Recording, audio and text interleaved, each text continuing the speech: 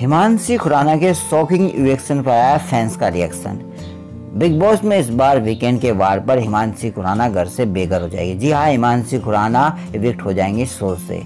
इस बार घर से बेघर होने के लिए पाँच लोग नॉमिनेटेड थे, जिसमें असीम रियाज, हिमांशी खुराना, रश्मि देसाई सैफ अली जारीवाला और पारस छावड़ा पारस छावड़ा अपनी चोट के इलाज के लिए घर से बाहर जा चुके हैं, जिसकी वजह से वो नॉमिनेटेड नहीं है। अब सिर्फ़ घर में चार ही लोग नॉमिनेटेड है, जिसमें अब कंफर्म हो गया कि सैफ अली जारीवाला और हिमांशी खुराना को सबसे कम वोट मिले। वही हिमांशी खुराना को सबसे कम वोट मिले, उसकी वजह से हिमांशी खुराना वीकेंड के बाद में घर से बेघर हो जाएगी।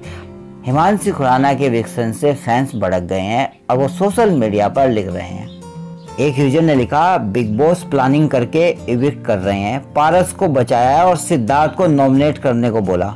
वहीं एक यूज़र ने लिखा ऑडियंस असीम सेफाली, हिमांशी की बॉन्डिंग को कितना पसंद कर रही है, फिर भी निकाल दिया। नो इविक्शन कर देते एज यूजुअल कितनी डिग्निटी से आगे बढ़ रही थी? फोर्सफुली सिडनाज प्रमोट कर रहे हैं। एक्चुअली हिमांशी की वजह से असीम स्ट्रॉन्ग और सना एक्सपोज हो रही थी। एक यूज़र ने लिखा I think Himanshi is too sweet she is the pure soul उसके लिए ये बिग बॉस नहीं बना।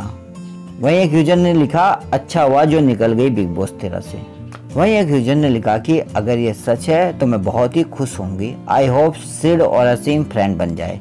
वहीं एक यूज़र ने लिखा कि, ओ बिग बॉस, क्या ड्रामा लगा रखा है? जब पारस को बाहर कर दिया तो ये विक्सन क्यों? Bias so, hashtag, boycott, bias, Bigg Boss तेरा।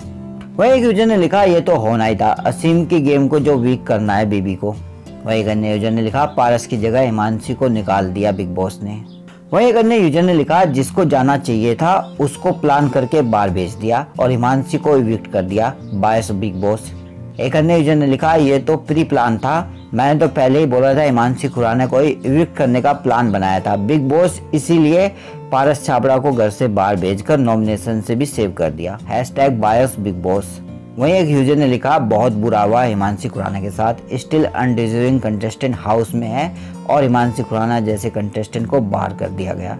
वही एक यूज़र ने लिखा कि she's too sweet for Bigg Boss not made for Bigg Boss तेरा hope I am fan now Himanshi Khurana love there tried it not a good she's the evicted this time people loving वहीं एक user ने लिखा कि first eviction of Bigg Boss तेरा which made me sad she prove her self She played with the dignity and maturity, earned respect and love from the outside and inside too. एक user ने लिखा ये totally unfair है। Captain power की वजह से nominated करने के बाद कभी कोई विक्ट नहीं हुआ है। ऐसा फ़र्स्ट टाइम हुआ है। पहले पारस को बचाया फिर मानसी खुराना को विक्ट कर दिया गया। ये अनफेयर है। आरती मायरा मधुरिमा क्या कर रही है? हिमांशी खुराना तो दिख रही थी।